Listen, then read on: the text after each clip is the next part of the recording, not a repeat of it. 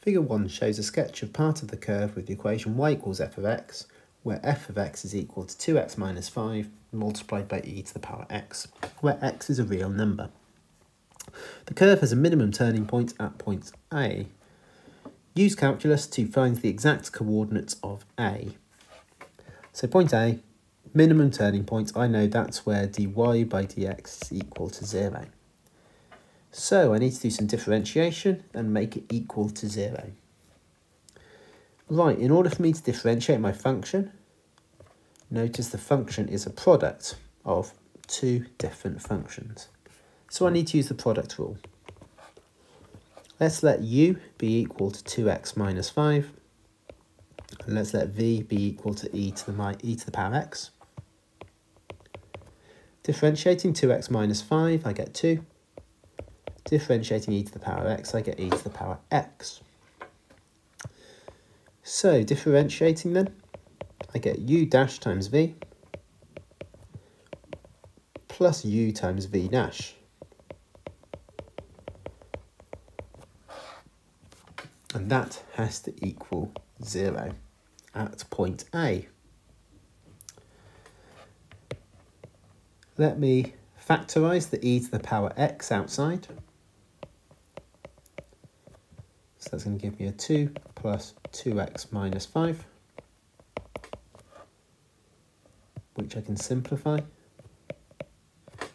to be 2x minus 3. Now, I know e to the power x can never equal 0, so the only part that can equal 0 is the 2x minus 3. So therefore, x is going to equal 3 over 2. So that's the x coordinate. If I now take that and substitute 3 over 2 into the original function, then I find that the y coordinate is going to be uh, minus 2e to the 3 over 2. So this is the answer to part A. We're then told that uh, given the equation f of x is equal to k, where k is a constant, has exactly two roots. So let's think about what that would look like, f of x equals k. So we've already got the f of x function drawn on here. Let me draw the y equals k function as well. So y equals k which would just be a straight line. For example, it could be y equals 2 or y equals 3. It's going to look something like that. But that the way I've drawn it there, there would only be one solution. We were told it has exactly two roots. So where can I draw this horizontal line, this y equals k, where it intersects with the f of x function twice? Well, it could be here, for example. That's going to intersect twice, here and here. Or it could be here, or here, or here, or here. Any of these values here, it can't be zero, because it looks to me like this is an asymptote here, where it's getting closer and closer and closer to zero, but never actually touching.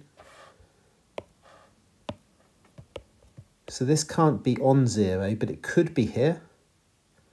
It could be just above zero. Oh, sorry, just below zero just below zero here because like I say I think this is an asymptote that's going to get closer and closer and closer to zero but never actually touch it.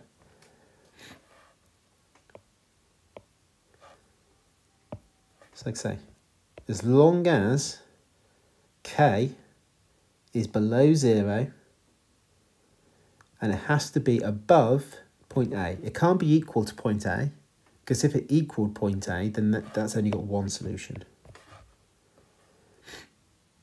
So we're saying that k has to be less than 0, but bigger than the k value, the y value here, which is the minus 2e to the 3 over 2.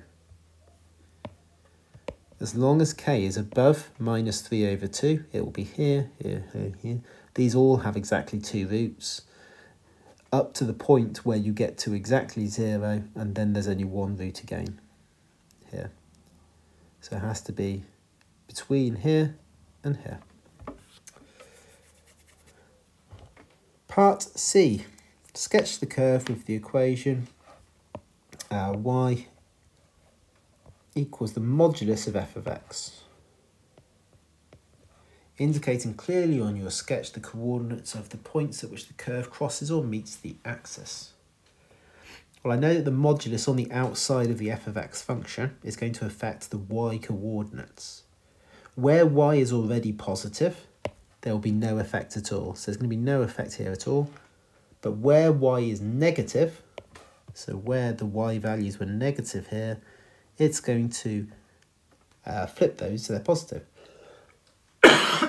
Excuse me. So my graph, this part of the graph will not be affected at all. But then the, the bit that was below the axis is now going to be reflected and be above the axis. It's going to look something like this. I need to indicate the points where the curve crosses the axes. So I need to say what this coordinate here is and what this coordinate here is. Here I know x is 0, so if I substituted 0 into that original function, I'll get 2 times 0 minus 5 times e to the power 0, which gives minus 5 well, that would be the minus 5 down here, but when I do the modulus of that, I'll obviously get plus 5. And this point here is where y equals 0.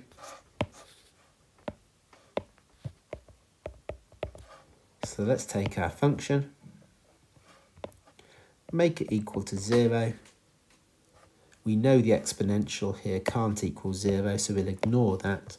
So therefore 2x minus 5 equals 0 and x equals 5 over 2.